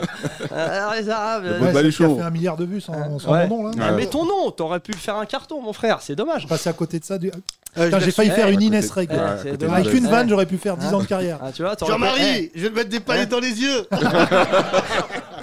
C'est bon ça. c'est vraiment, mais- mais il m'impressionne, j'ai j'ai pas l'habitude. Eh. Et donc, pour finir l'histoire, remets les choses dans le contexte. On est en 2005, mon pote. Et en 2005, le stand-up en France, c'est quoi? C'est les émeutes en banlieue. Et à la télé, ils ont pas vu de noirs, d'arabes, c'est Rosel Mac. Tu sais, C'est un truc de waouh, c'est un truc de fou. Donc, eux, en fait, ils ont utilisé le stand-up pour dire ouais, regarde, il y a quand même des jeunes de banlieue, entre guillemets, des Renois, des Rebeux, un Noache, un ci, un là. Et c'est pas du tout le même euh, état d'esprit. Donc c'est pas un truc communautaire de je vais plaire aux blancs, c'est je vais plaire à la France. Je voulais parler à tout le monde et je voulais sortir de ce, euh, ce, ce couloir dans lequel ils voulaient nous mettre de euh, un jeune de banlieue qui parle à la France. C'était pas ça. Tu vois, tu, tu comprends? Je comprends. Oui, ça y est, on a compris. euh, Eh bah suce-toi, mais alors. C'est vrai Et que. donc à l'époque, mesdames et messieurs, Bref, barre de rire, c'est pour- ça, c'est que c'était un truc de pour fou. vous parler de Thomas Barbazan, vous devez le savoir, ceux qui écoutent le podcast, que Thomas est vraiment le mec le plus marrant de l'équipe. T'inquiète, Pour- j'arrive. Voilà. Et pour Bon, vous raconter 43 mon ans, lien je vais avec pas tarder, Thomas, quand tous mes copains ont été pris par Jamel et un autre producteur qui sert à rien qui est au Paname, Oh, tout le mais- monde a dit oui. Eh, tout le eh, monde a dit Laisse-nous Non, pas. gueule, C'est notre émission, mais oui, d'accord mais les gars, venez, on tend la main. Arrêtez Non, les gars, vous mais avec tout le mon monde. Nous, on tend le doigt. nous. Ouais, voilà. voilà, bien joué. Hein Ouais. Et donc, pour vous raconter Et l'histoire, Rachid là-bas tend le bras, c'est bizarre comme ambiance. c'est que euh, ils ont pris tout le monde et le seul qui avait, j'ai déjà, ah, je sais pas si j'ai déjà raconté cette anecdote, j'étais, euh, ils avaient des bureaux, Jamel avait des bureaux à Villiers. Euh, et euh, ils appellent, ils convoquent Thomas. euh, quartier parisien, pas Ouais, Villiers pas sur Marne. Non, non. Et ils Pas ont convoqué film. Thomas pour demander à Thomas de quitter la matinale et rejoindre le Comedy Club. Ce qui était, moi, mon talon d'Achille. Parce que tu peux tout me prendre sauf euh, Thomas. J'ai une convocation officielle. Ouais, voilà. Le roi Jamel Debbouze, le roi officiel de l'humour de France. Mais non, mais, eh, Et donc, je vous finis Comment voulez-vous qu'on se récilie avec les gens, avec des gens comme ça Vas-y, classe-toi, mon frère. T'as fait euh, Boudherbala and Friends. C'est des copains de troisième qui sont venus. Ah, C'est pour ça qu'à la partie- à partir de la semaine prochaine, je lance Boudherbala et Enemies. Ça va. Ça va être un gros succès. Ah bah avec Yacine, Note Note Yacine, vous pouvez faire 5000 Mais là, personnes. non, mais Boudherbala Merci. and Enemies, tu passes tes neuvièmes. Non. C'est un truc de fou parce qu'il y a des gens dans la salle, c'est des gens des RG, même eux ils rigolent, ça fait plaisir. Ouais, ça, ça, ça fait Donc, je plaisir. vous raconte l'histoire. Thomas, j'ai dû l'attendre dans un café. Il m'a dit écoute, je vais les voir, je vais voir ce qu'ils proposent, je reviens. Là, j'ai pris un café. Je vous assure, ça a duré 20 minutes. C'est les 20 minutes les plus longues de ma carrière. Là Thomas l'a appelé, allô euh, Yacine Tut Donc, bah, il est chelou ton téléphone portable, frère. Et, donc, et là, Thomas passe devant la vitre et je lui dis ça va? Il me dit viens avec moi. Je l'accompagne jusqu'au métro. Il me dit bon, demain on fait la matinale, donc c'était pour dire on fait ça. Je dis mais attends, qu'est-ce qu'ils t'ont dit? Mais rien, vos embrouilles de bougnoul là, ils parlent mal de toi et tout. Faut pas sûr avoir employé Et ces là, mots-là. Thomas a dit cette phrase. si, si, si, si, si. les- les Si, frisés si, ou je les crois. Et là. Thomas a sorti cette phrase, mesdames et messieurs. Il m'a dit Je lui dis, tu les rejoins pas? Il me dit Qui m'a fait faire de l'humour? Je lui dis Moi. Il m'a dit Bah, je reste avec toi. On applaudit Thomas. C'est une belle histoire. Ah ouais, mon pote. Ouais, c'est une belle histoire. Hein. Et la fin de J'ai l'histoire. pas dit à vie, hein, j'ai pas dit à vie. Et la fin de Ouais, c'est l'histoire. presque à vie. Hein. Et la fin de l'histoire, c'est qu'on les a retrouvés en 6-9 sur le trottoir. En cuillère. À propos de cuillère, En ça va. Kino Donne-lui le micro. Faites du bruit pour Kino Le micro. Amine, Amine. La relève de l'humour français, puisqu'on parlait de ça. Ça va mon Kino? Oui, ça va, ouais. Alors, Euh, tu Kino, connais toi Kino qui es un mec de province. euh, Samy, tu connaissais son travail, le compte? Bah oui, bien sûr, ouais, carrément. Et l'inverse Samy, tu connais un- le travail de Kino? Bah, Kino, euh, mais qui connaît pas Kino? Kino connaît. Ça se passe bien, Kino? Ouais, bah vraiment, là, je suis en train de- d'écrire le spectacle pour, pour la France. Ceinture de ouf. Il a déjà joué son spectacle ici. On a fait une belle Ouais. recette de 427 euros, qui est Wow. pas, pas négligeable. Non, c'est bien. C'est Et pas euh, mal. tu fais d'ailleurs le Jamel Comedy Club. le- la Oui, je suis à la saison, troupe. euh, euh, saison- saison Tu- 73. Tu là. faisais, tu faisais. Je- À cette émission, tu faisais. Ça se passe bien, ça. T'as ça été enregistré, mais t'es Ouais. pas passé encore. Bah ouais, ouais, je joue le sketch de la Gardave, là, je suis en train de le roder. euh. C'est vrai qu'il a fait une la garde Gardave, il connaît bien Yacine, il peut t'aider si tu veux. Tu as besoin de punchline Et attends, le meilleur arrive Le Kino, le, le Babtou le plus. Le Babtou le plus fragile. Alors, on est rebelle Connard Kino, le Babtou le... le plus fragile de notre équipe a fait une gardave quand même. Sérieux Il y a une semaine. Mais tu- tu es blanc Bah ouais, ouais. Bah oui, puis c'est- euh, gentil. passé et quoi tout. Il avait acheté du shit. C'est gentil, Ah ouais il a dit. T'as Ouais. déjà fait une gardave, toi, d'ailleurs Bon, moi moi, je te raconte des histoires, tu, tu, tu vas flipper, mais... euh, Bah, peut-être ça rendra le spectacle drôle. Les dents hein. Et Kino, tu, tu viens d'où alors De, Quimperlé, en Bretagne. Oh, mesquine, ah ouais, c'est... Ouais, ouais. Ah, on vient, on vient de C'est loin. vrai Quimper- Ouais. Alors c'est où? C'est euh, Bretagne Finistère, Nord ouais. c'est- ah, Finistère, ça Ouais. va, c'est mignon là-bas. T'es vers où Sarzeau et tout là-bas là? Non. Val? Moi, mon frère, À il a côté de- tellement fait de dates, on dirait la préfecture. T'as joué là-bas? Bon, après, ouais, bah, on va un peu partout. hein. Ils sont bien T'as là-bas. fait combien de dates Est-ce que tes parents sont frères et sœurs Ah, les vannes de 96. Van, van, van, Excuse-moi, j'ai refait. Est-ce que tes, tes- tes- tes parents sont frères et sœurs siamois T'as fait combien de spectacles de- de dates? Pff, Je suis 1500. Waouh. Ah ouais. Ah, Là, c'est pas mal. Non, c'est je l'ai 1500 pas de plus que moi. Ouais. C'est Mais 1500. Kino, euh, surveille Kino, euh, Samy, parce que c'est la relève. Moi, j'ai arrêté de produire, mon frère. Donc, euh, Ah ouais, oui, je sais, je Oh, sais, ouais. parce que t'avais déjà essayé. non, c'est pas ça. non, mais est-ce qu'il que avait déjà essayé de nous piquer Jamil le schlag Ouais. mais, Ah ouais euh, et, euh, finalement, Non, ça- non, non, non, non, au contraire, c'est que. Non, non, mais euh, moi, c'est ce que je disais aux gars, mais Jamil, tous ces gars-là, ils sont hyper intéressants. Moi, c'est pas produire, c'est programmer, c'est différent. Moi, j'ai, avec le République, j'ai j'ai envie d'avoir aussi dans la salle des spectacles que je, que je kiffe. Je pourrais faire juste la location de salle, même si t'as un spectacle dégueulasse, tu viens, tu joues. C'est toujours sympa si tu kiffes les gars. Mais euh, c'est vrai que chez vous, euh, il y a plein de, de gens euh, très talentueux passés, hein, qui vu, sont passés. fait passer du monde. hein. Il faut les garder, les gars. Ouais, c'est ça qu'on n'arrive pas à C'est faire. un moment, il y a Yacine, il part en couille. Il propose des contrats. Alors, je vais prendre 150% et, et tu vas montrer tes chicots. La dernière fois, je l'ai vu torse nu avec Edgar en train de faire de la lutte à République avec leur corps là. On aurait dit euh, Django là, quand les deux ils se pétaient là devant les C'est pas ça les contrats Kino, c'est pas ça. C'est pas ça, en 150. plus Kino, tu sais très Bah, y bien. a pas de Toi, t'es contrat, pas donc, solvable pendant Y a pas de contrat. Pas de contrat, donc. Il n'y a pas de contrat, c'est à la conf. Je souhaite que Jamel t'emmène au Marrakech du rire et te fasse faire un sketch avec Elise Moon et que là. euh, Et Franck Dubos quand je là-bas. hein, Bah non, mais bah, non, mais Elle faut- est allée au, faut- au non. Marrakech du rire, elle a Eh. fait. Là, voilà, 800 dates. Non, non, non, t'es, non, t'es salaud, t'es salaud. Non, moi je les défends ces gars-là parce que Il a c'est, mangé 800 c'est dates. quand même des, euh, des- c'est, c'est- c'est des, c'est, c'est des artistes qui se tapent. C'est qui euh, ici Bah ouais, c'est- c'est À vrai. chaque fois, il y a des têtes C'est qui frère. Assis-toi Bah c'est vas-y, dépêche. C'est qui Je le reconnais, c'est Tanguy David ou quoi là Ah, Il essaie de s'infiltrer partout, donc euh, pourquoi pas ici Viens, passe là si tu veux, euh, premier rang, et puis sur scène. là. Mais c'est pas grave. Ah, tu nous connais maintenant, nous. euh, ça- Salut, ça va. Passe C'est devant la caméra, bien joué. Ça va Ça va, va Ça va, on passe pas non plus sur TF1. Donc, euh, Bah je vois ça. Eh. J'ai vu. C'est pas drôle, Non, non. mais la tête d'homme, c'est pas drôle. toi. Pas- En, en durée fait, que le, t'es- le- le- le secret, c'est déjà de se faire rire soi. Tu vois Mais là, en même temps, euh, ça fait 47 minutes. Ton Ah. spectacle, il fait euh, 55, donc c'est là où tu commences à plus être euh, marrant, c'est ça à peu près? Euh, ouais, non, mais après. euh, Tu veux partir? la- la- Non, la Excuse-moi, je regarde, j'ai quand même des enfants qu'il faut que je surveille. Mais euh, ils, sont là, ils sont poussies, hein, tout va bien à côté. ils apprennent, attends, t'es marrant toi. Pour les enfants, le poussi poussette. Poussi poussette. Là, il m'a fait sa tête de robot, tu sais, genre euh, puritain. Oh. Ça fait longtemps que. Tu sais, je suis... Ah non, mais quelque part, je suis fier de toi. Mets tes pieds sur scène, toi. Elle, c'est dans Enlève son tes- salon, du pulco. Dans 10 minutes, elle lâche des caisses, Hadi. Enlève tes pieds On vient de te dire que c'est un théâtre historique C'est ici. Qui a commencé ici? Les inconnus. Amber Heard, tu veux chier sur scène ou quoi? Van d'actu.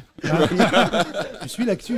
D'ailleurs, on on a regardé ton spectacle, c'est vrai qu'il y a des trucs d'actu dedans. Vous avez gaulerie un peu ou euh, Eh oui, on Parce a- que toi, je t'explique, t'as fait un, un- un truc sur, euh, sur les réseaux, t'as dit que c'était euh, mauvais, les, les gens ont vraiment cru que c'était mauvais. hein. Ah non, bah, Ah, depuis quand il est critique de spectacle Toujours, on dit ici que. On dit toujours ici que t'es formidable et que tu vrai. la merde. Ah. Qui te fait rire en Ah, ce moment C'est affectif. Non, moi, euh, moi, moi, je, suis, je suis bon public. Moi, je pense qu'on a, on a un gros niveau d'humour en France. C'est pas pour faire le, le sucker, mais euh, regarde, euh, voilà, t'as des très bonnes vannes. Euh, mais en fait, je pense que c'est pas les humoristes qui sont les plus drôles. Parce que nous, on a l'habitude d'avoir des gens marrants dans notre entourage. Moi, j'ai grandi avec une famille de ouf, très marrante. Euh, donc, euh, le frangin des bars, les tantes des bars de rire. Et je suis de moins en moins fan des humoristes parce que, comme je te disais tout à l'heure, j'essaie de regarder le cerveau derrière l'artiste. Et quand je vois la qualité du cerveau, mais la qualité humaine aussi, je me dis, ah, Dommage. ça casse un truc. Donc. euh, Est-ce qu'on est d'accord pour dire quand même que l'un des meilleurs humoristes qui n'a pas percé, ça je dis ça depuis tout à l'heure, on charrie et tout avec Samy, mais vraiment, je ne sais pas s'il va acquiescer ou pas, le- pour moi le meilleur humoriste qui n'a jamais percé, c'est Yacine Bellouz. Et qui moi, sera à l'underground demain soir. Ouais, demain soir dans l'Underground. ouais. Yacine qui vient d'une ville voisine, Stein, Bah, Yacine, on a commencé ensemble. Je, je te raconte Il l'histoire était avec, avec nous, Yacine, euh, c'est un truc de fou. il était, oui, il était sur ton plateau et après il a rejoint Barre de Rire avec nous d'ailleurs. Et autant Yacine Bellatar euh, était le plus nul, autant Yacine Bellou c'était le meilleur. Non mais je te jure, moi Yacine Non, après, je pense que c'est une, histoire de temps. C'est-à-dire qu'il y a un moment, toujours, si tu lâches pas l'affaire, on va te donner une opportunité, tu vas la saisir et c'est pas la chance. Quand tu es bon, que tu lâches pas, tu travailles dur. C'est comme il le a sport. fait- il a fait plein de Tu trucs à côté, c'est pour ça. Après, c'est euh, c'est con, mais on est tellement nombreux aussi dans ce game. C'est qu'il y a un moment, il faut avoir aussi une stratégie de pénétration. Mais il a, il changé justement de stratégie. Yacine Bellous, là, a décidé de faire un spectacle par an, un nouveau spectacle chaque année. C'est bien. À Après, voir quoi. Moi, moi, je serais plus. euh, voilà, ma philosophie, ce serait plus d'avoir un spectacle et de le rendre imparable. sans blague, 7 ans. Tu vois? Bah ouais. Oui, mais c'est con, mais c'est une stratégie qui fonctionne. Parce que Mais c'est impossible on est aujourd'hui de la tellement faire. nombreux. Mais non, mais en fait, il y a, c'est un petit game. Tu crois qu'il y a beaucoup, il y a pas beaucoup de monde de bons. C'est-à-dire que quand, c'est comme dans le sport. Quand tu sens que voilà, tu fais un sport, tu connais tout le monde, tout le monde se connaît, c'est des petits milieux. Quand lui il est bon, c'est lui qu'on va voir. Et les gens ils sont pas dupes. hein. Voilà, le public, je parle de vous. Vous êtes pas, on peut pas vous la faire à l'envers. Si vous voyez un gars qui est pas marrant, il y a un moment tu vas dire, Hey, rends-moi mon oseille, ou je vais plus te voir, ou je vais pas parler de ton spectacle. C'est vrai. baisse ta mère. C'est vrai, bah oui. Donc les, les gens, quartiers. tu peux pas leur faire la, la- leur mettre la banane entre Ouais. guillemets. Si t'es marrant, t'es une bombe, les gens ils viennent te voir. C'est une- moi je pense que c'est un vrai truc. Alors je vais vous parler de ce vraiment ce Golemont, parce qu'ils sont venus dans une équipe, ils étaient massifs. Quand ils nous ont rejoints et quand on a fusionné les, les familles, nous on était à Paris, j'étais avec Anne Gijol et Amel Chabi, et en fait Samy il cartonnait, et on est allé le voir et on se disait putain le mec il est fort. Et Samy nous a présenté le même jour un mec qui s'appelle Grand Corps Malade, et le troisième, qui est aussi un génie absolu, qui s'appelle Jackie Ido. Et Jackie Ido, il a un frère qui est réalisateur, qui est brillantissime, que vous connaissez peut-être, qui s'appelle Cédric Ido. Et Cédric, Samy, Burkinabé. Yacine Bellouz, Grand Corps Malade, c'était la même team. Et quand ils sont arrivés, et leur spécialité à ces Golemont, c'était se battre durant les interviews. C'est-à-dire, il y avait une interview et ils se mettaient des patates de l'espace. Et Cédric Ido, une fois, il a mis un crochet au foie à Yacine Bellouz. Tu sais que Yacine, c'est le pire bagarreur d'Europe. Bah oui. Tu sais, il a un teint, on dirait une gomme. Et il, il est, il était comme ça. Il fait 1m37. Ils se battaient ensemble. Toi, Samy, tu m'as frappé plusieurs fois, connard. Ouais, t'es un non, bagarreur. non, non, non, mais c'est une forme de, euh, c'est une forme de, de, De Golemont. d'amour. D'affection, Ouais, de Golemont, mais non, c'est une forme d'affection. Après voilà, c'était. c'est, Tu euh, te bagarres voilà, plus dans la rue comme avant c'est fini. Mais non, mais là vous me faites passer pour un mec chelou. C'est- c'est- ce mongol, C'était quand ta dernière la- bagarre La coke et tout, ça a arrêté tout ça, la- l'héroïne. Ouais, c'est fini, j'ai refilé ça à Yacine. Quel connard. non, moi, moi j'ai jamais été dans ces trucs chelous. La drogue, tout ça, non. Mais jamais. Starfallah, Ba'adchar, comme on dit. Les putes un peu quand même, les putes. Non, non, non, non. Si, tu me disais l'autre fois. Ah bah de mieux en mieux, un nouveau-né maintenant. Ah oui. Mais il y a de tout dans notre public, il faut que tu acceptes, c'est démocratique. ouf. Bientôt, il y a des fantômes qui vont débarquer. Fantôme de Galabru, tu sais que ça appartient à Michel Tu sais que Galabru, cet enfant, il est, dû au, au- il est né au début de ton rodage. Bonjour Ça va bien? Magnifique. Bon, bah, choisissez, Il a quel âge, mesdames le messieurs. petit? Trois mois. Comment Oh. ça Ah s'appelle oui. Jamie. Jamie. Jamie. La légende de Jimmy.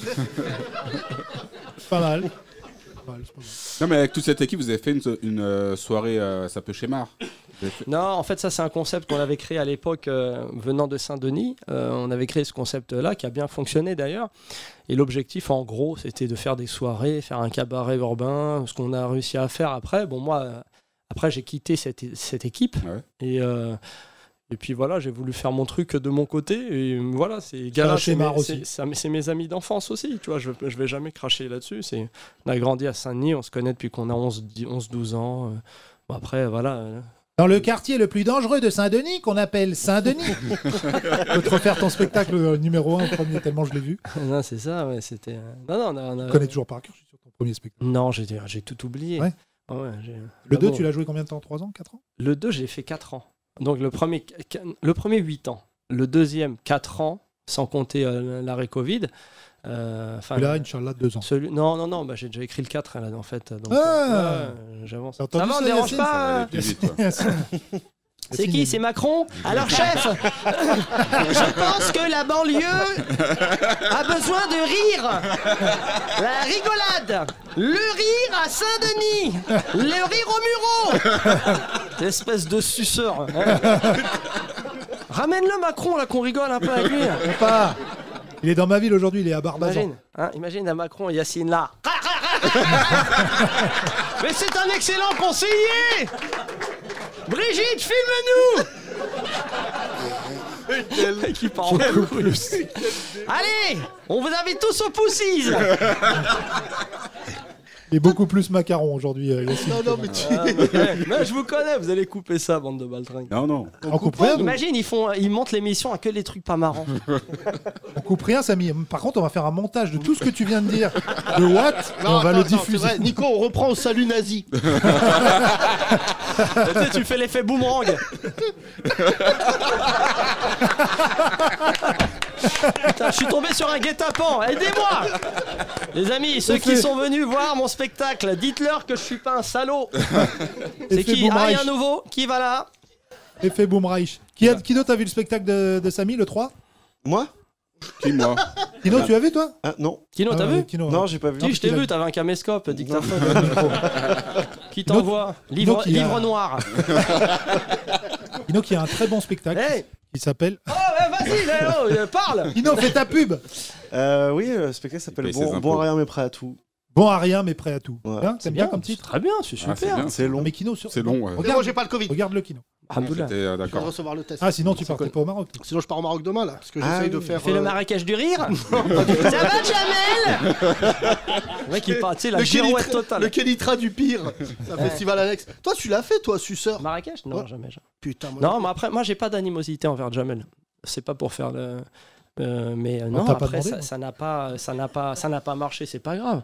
Moi, je dis, il y a de la place pour tout le monde. Il t'a lancé quand même. Non, sur la euh, phrase de non, ouf. Non, C'est lui fait- qui t'a fait. Non, mais euh, la- voilà, l'histoire est ce, que, ce dont on a parlé tout à l'heure. Après, euh, je pense pas que les artistes fassent quoi que ce soit. C'est le public qui décide. C'est ça qui est génial dans ce métier. Mais c'est vrai. Mais Ben, ta c'est gueule c'est beau. Il suce depuis tout à l'heure, il suce. Mais non, mais je t'explique. La musique. Non, mais excuse-moi, excuse-moi. Britney Spears. Oh, mais attends, messieurs, dames, je vous prends un témoin. Parce je suis qu'il y a- une star, entre guillemets, qui va vous dire Allez le voir, il est marrant. Mais si vous allez le voir et vous ne riez pas, ça va pas devenir une star. C'est vous qui choisissez. C'est pour ça que ce métier, il est ma- pourquoi t'as de plus en plus de gens qui veulent faire ce taf C'est le plus participatif du monde. Les gens, tu peux pas les mitonner. Chaque soir, ils sont les yeux dans les yeux. Rachid, tu vois, on, on est là. on- si tu les, t'arrives pas à les convaincre, ils vont pas, ils vont pas revenir. Donc c'est c'est une, une relation. Mais il y a quand même des frères, tu les as à l'usure. Toi, tu joues à 16h, 17h, 18h. Toi, tu fais tout d'un coup, euh, passe avec une, Yacine. Eh. avec une camionnette Eh, dans la ville. Ce soir, retrouvez le comte de Boudherbala avec du nougat. sais, les camionnettes de cirque là. Et enfin, le plus drôle de l'humour. euh, Avec un corps de trapéziste.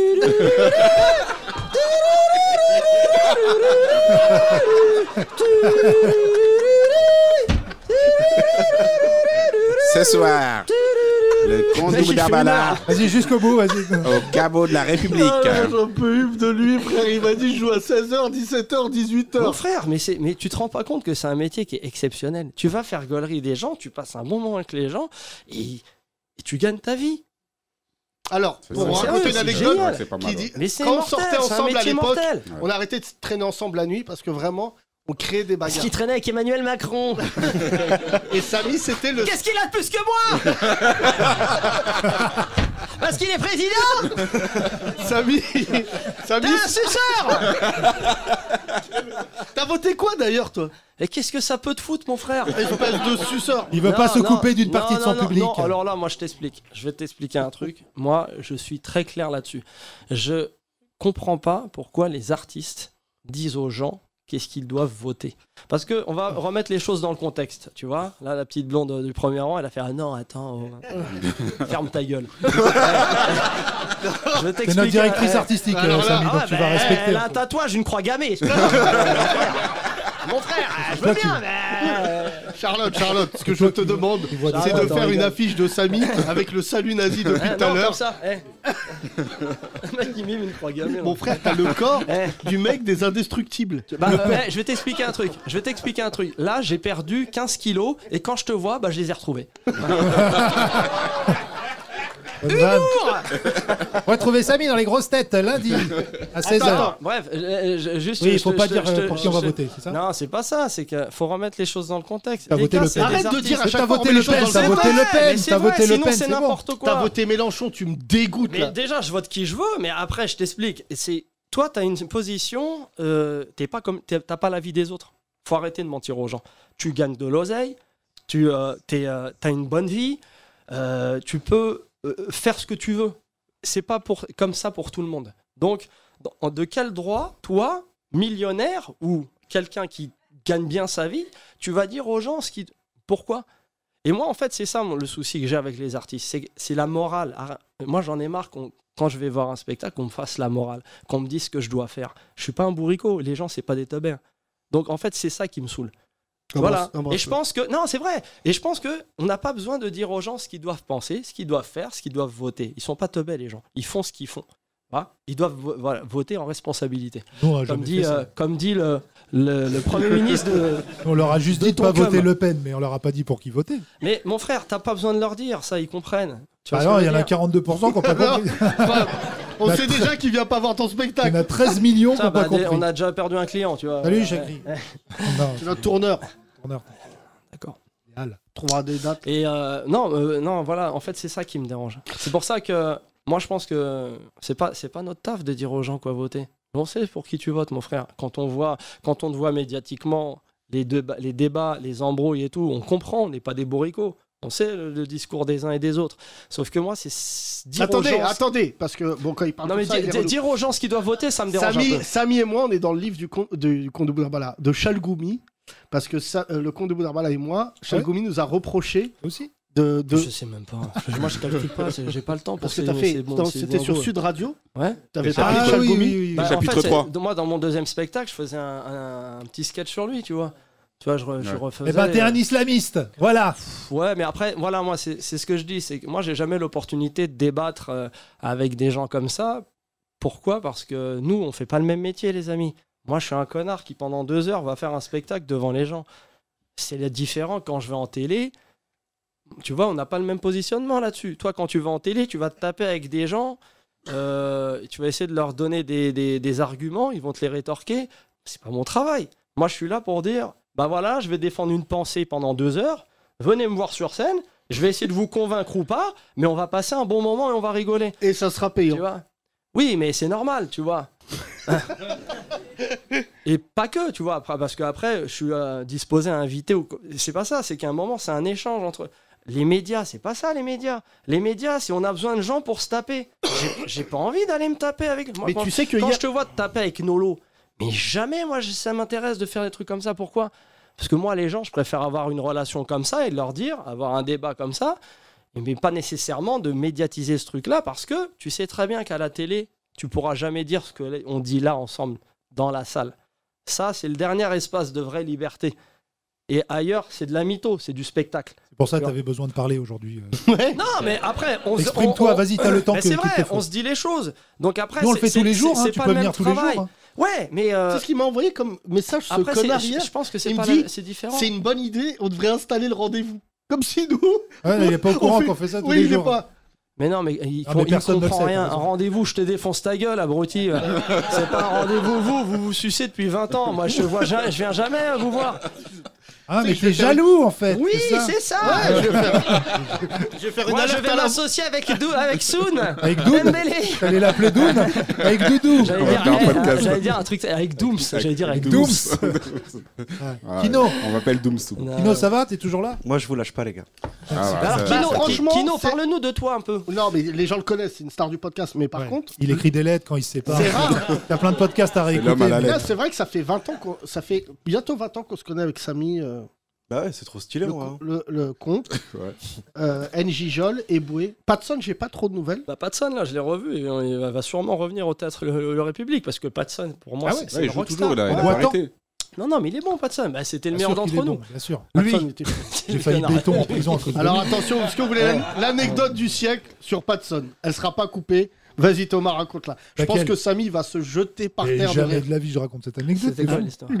J'ai juste dit j'ai failli béton à cause de lui, mais jamais un jour il me prête sa voiture. C'est tout. Voilà, après vous n'avez pas besoin de savoir la suite. vous n'avez pas besoin de savoir Ah, ce qu'il y avait dans la voiture. C'était de Non, il a prêté sa voiture et il y avait un truc dans la voiture euh, Oui, il y avait un truc. quoi. Et pendant que Thomas lui parlait au téléphone, il dit Ils sont où les papiers? Il lui dit Ils sont dans la boîte à gants.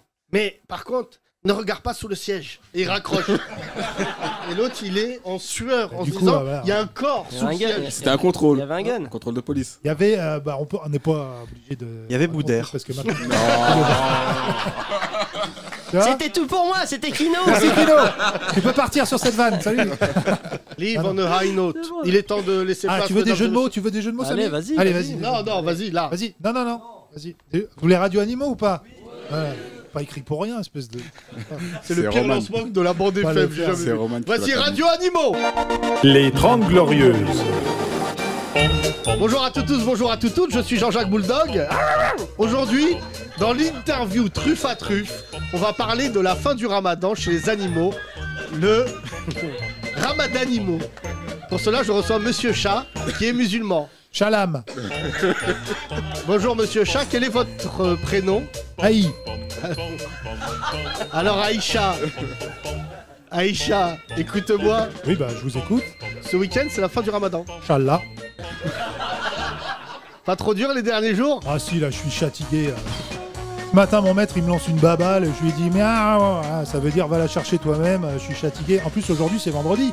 Et joue moi.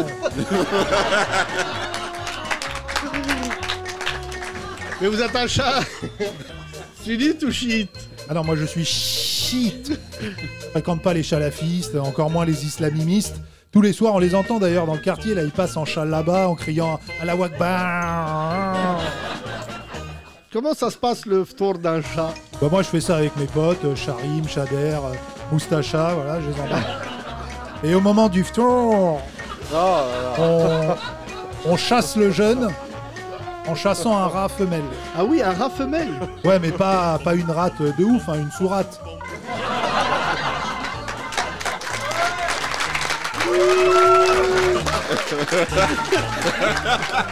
Merci Aïcha. Tout de suite, on écoute votre chanson. Aïcha, Aïcha, écoute-moi. Les 30 Glorieuses. Et voilà Et voilà Et tout ça, ça mérite un don sur la nouvelle vanne.com Ouais Donnez Après, il y a des questions dans le public. Je vois de- plein de gens qui ont des Ah, questions. tu fais comme Samy à la fin de son spectacle. Samy, il a toujours ça. Ouais. Toujours qui ça, qui n'est jamais venu au podcast? Levez la main.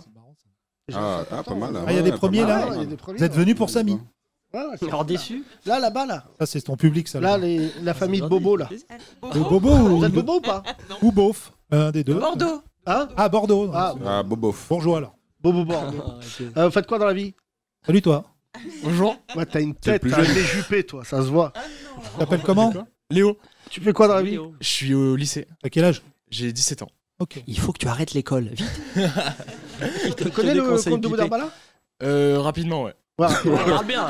Mon frère, elle parle bien. Sur hein. l'autoroute. Là, je te présente deux mecs qui ont quitté l'école bien avant 17 ans. Tu veux faire quoi plus tard, Léo? J'en ai aucune idée. Je sais pas du tout. Qu'est-ce que tu Tu aimes quelle dans la vie? origine Je suis français. Mais on s'en Mais bat non. les couilles de l'origine, qu'est-ce que tu Mais l'emmerdes ta avec ça gueule, toi Je pose des questions, Oh je fais ce que je là. veux. T'as voté quoi? Ah non, t'as pas voté. Non.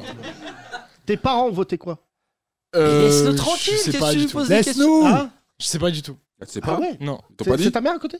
Oui Oui, donne Non, mais- le micro pour voir. T'as frère, le coming out de la daronne. Vas-y, Le vas-y. Pen Non, Alors T'as voté quoi? J'ai Bah- voté blanc Ah ouais, d'accord. voilà. au deuxième tour. Blanc, donc Le Pen. Non, non. Non, mais attends, Oui, mais euh, D'accord, mais non. euh, ton fils, 7 ans, il sait pas quoi faire, c'est c'est grave, non? Bah non, je pense que non. Il T'as pas une petite faut idée, temps. Léo T'aimes quoi dans la vie T'aimes quoi? Et Tu sais pas ce euh, que t'aimes L'humour, la musique. euh, C'est qui à ouais. côté C'est ta sœur? Musique, fais Non, c'est ma copine. Ah ouais Ah oui, c'est vrai que vous faites ça, les blancs. Traînez avec, traînez avec votre meuf à 17 ans. Et à ta normal. gauche, c'est qui à ta gauche? Je sais pas du tout. Ouais.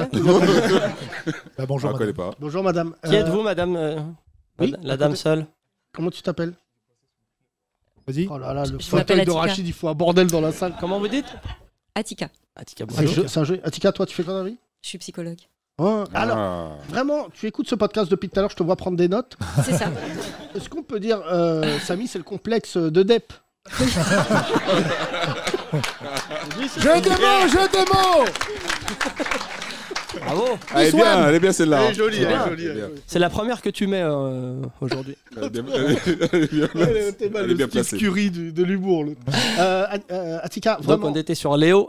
à- Attica, Attends, ouais. Léo, Ah, mais non, Léo, pardon, il- Attica, Attends, Léo, excusez-nous, pousse, Attica. Léo, ça bouge pas. Léo, il Attica, nous a dit je sers à Est-ce que rien. tu penses qu'il y a, euh, dans nos discours, il y a, quel- en tant que psy, qu'est-ce qui remonte chez toi? Tellement de choses. Vas-y, vas-y. Vraiment? Ouais. Attends, faut qu'elle reprenne ses notes. faut, faut, ouais, faut du temps. Vas-y, vas-y, ta gueule, toi. Vas-y, vas-y. Alors chez Soun, il n'y a rien. de toute Pour de façon. vrai, ça me prendrait du temps. Non, mais. Ah, mais vous prenez ça, vraiment des notes, Attica Oui, oui. Vous emmerdez, vous, la journée Elle va bosser au cabinet, elle va à l'hôpital Qu'est-ce que je vais faire? Tiens, je vais aller voir Barbazan et l'autre connard, le bellateur Après, elle va inventer le métier C'est de. chelou, Attica, excuse-moi C'est une démarche spéciale, quand même. Qui t'envoie? Non, non, je... je prends pas de notes. Non, non, est, euh, non, mais je non, pensais- Attica, non, mais je quand on est humoriste et qu'on fait un salut nazi au bout de 10 minutes, quel message Nous, un jour, le comte de Boudherbala, on l'a déjà raconté, il n'était pas là, mais pendant un flash info de notre ami Chloé, Il a enlevé, fait la chatte, on s'en fout. Voilà, ça intéresse personne. Oh là là, mon frère. a enlevé son 20 ans. pantalon, a coincé sa teub entre Oh, ses mais c'est cuisses et a dit. Voilà ma tocha Voilà ce qu'il a fait Ah oui. Et alors Bah, bah Yacine n'en avait jamais vu.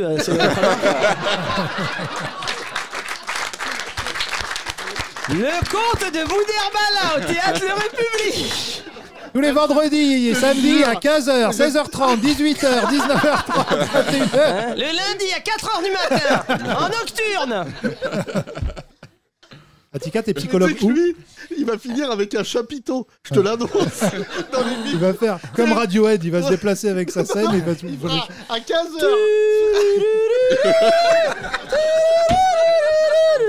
Le comte de Boudherbala. Spectacle de guignol. Le manège du rire. Regarde Euh, C'est pas, drôle. euh, Là, et d'un coup, t'arrives là. Écoute, Attica, plus sérieusement, sans note, qu'est-ce que tu penses de ce podcast Euh, super, je, je rigole depuis tout à l'heure. Ça bien. va Ouais, ça va. C'est sincère. Ouais, complètement. Ouais, franchement, je l'aime beaucoup ce connard. Vraiment. il- Moi aussi. mais C'est un truc de. Non mais j'ai vraiment j'ai fait des sorties la nuit avec ce connard. Une fois j'ai chialé de rire. Au On. Sur le bout. On parle. Écoute-moi. Eh, mon frère, eh, le théâtre, il est dans un endroit dégueulasse. C'est un truc de fou. Il y a que le des... Mais oui, il y a Mais que des trucs gueule, de cul à T'es voisin d'un Burger King et d'une agence de voyage. Mais oui, mais c'est de la gastronomie. Tu manges, il se passe un truc. Là, Burger King, des- c'est de la gastronomie. des- là. Non, mais alors, Il vient de non, dire non. vraiment. Bah, là Ah, aussi, c'est pas de la Non mais, gastronomie. non, mais... C'est mal, T'es un psychologiquement. C'est on- ça. Qu'est-ce qu'il fait Ça, c'est ça. J'ai hâte de te voir dans cet à vous Bien faire ça. Ce que je fais. Il, y avait un cam, il était là, il regardait comme as.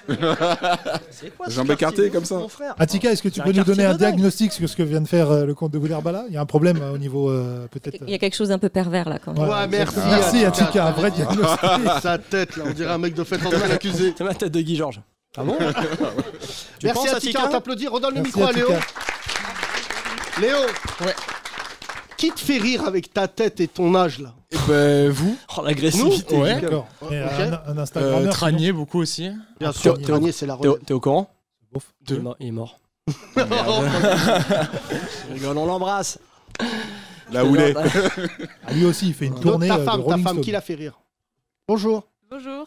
Euh, euh, vous aussi Ah, mais Yves d'autres. Mourouzi d'autres.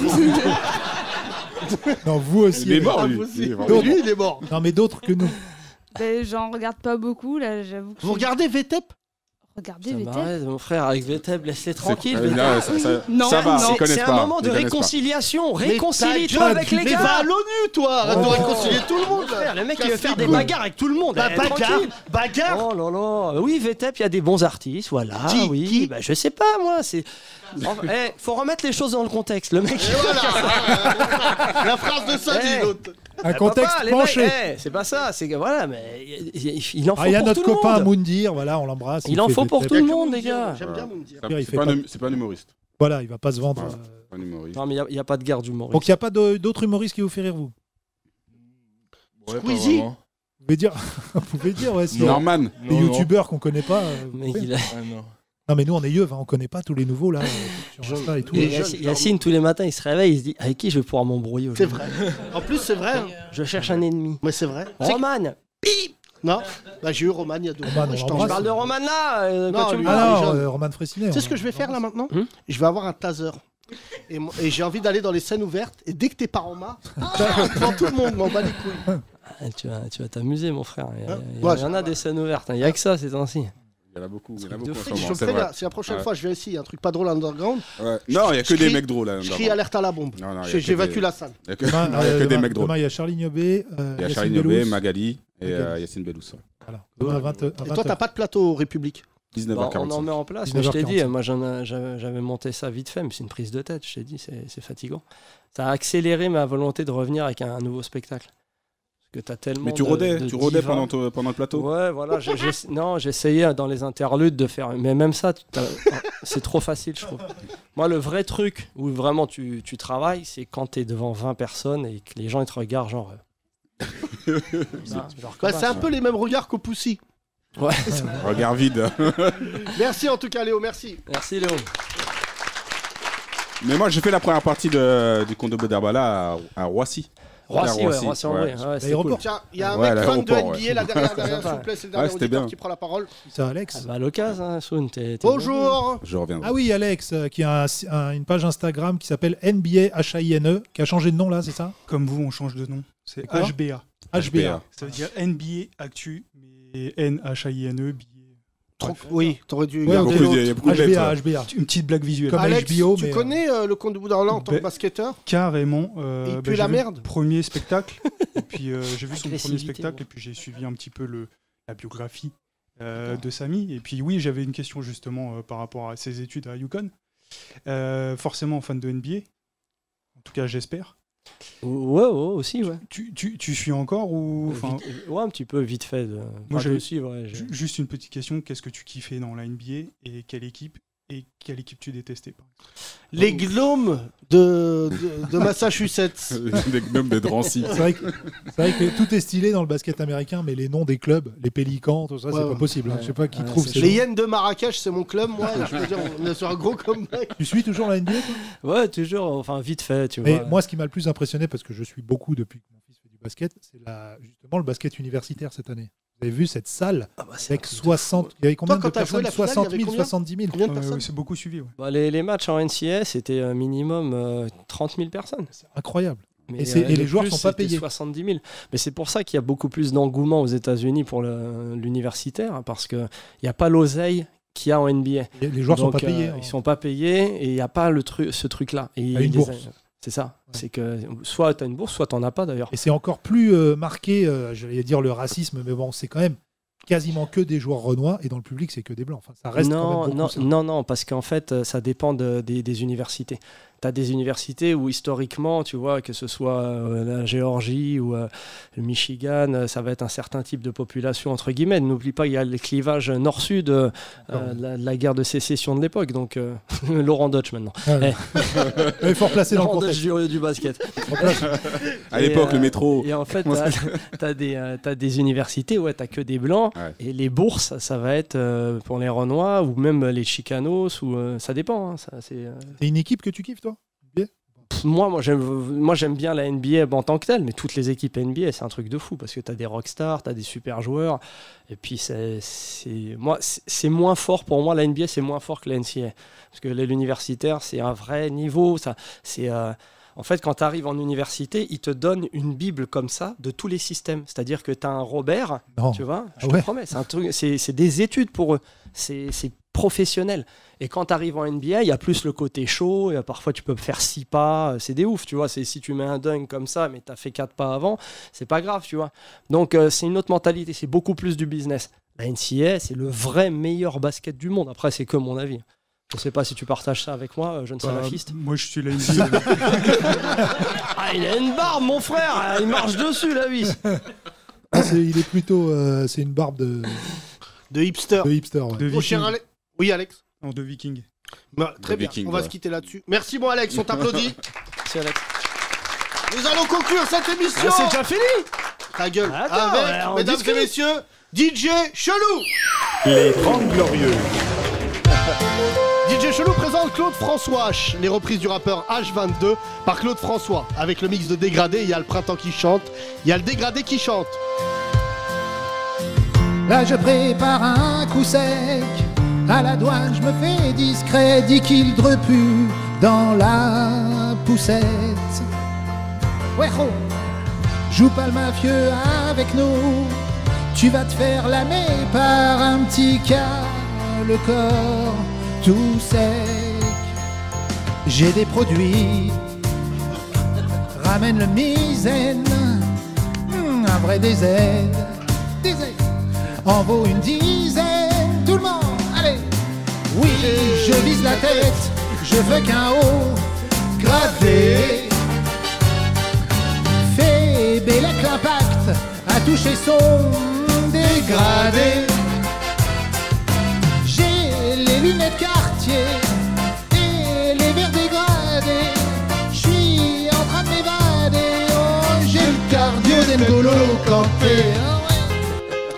François avec aussi le mix de- du lundi au soleil et X3 Fit Gazo, le X3 au soleil.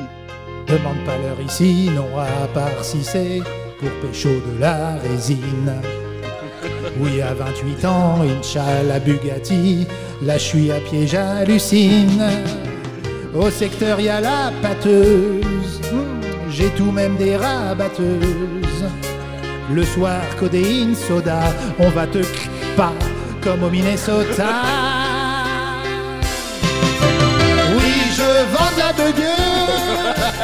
De deux et gazo dans ton caisson. Oui, la mala et gangs, c'est toujours le plus fort qui a raison. On arrive masqué dans ta maison. On va te shoot pas comme au Minnesota. Claude François avec enfin le mix de Je vais à Rio et bracelet. Je vais à Rio avec mon bracelet. Ouais.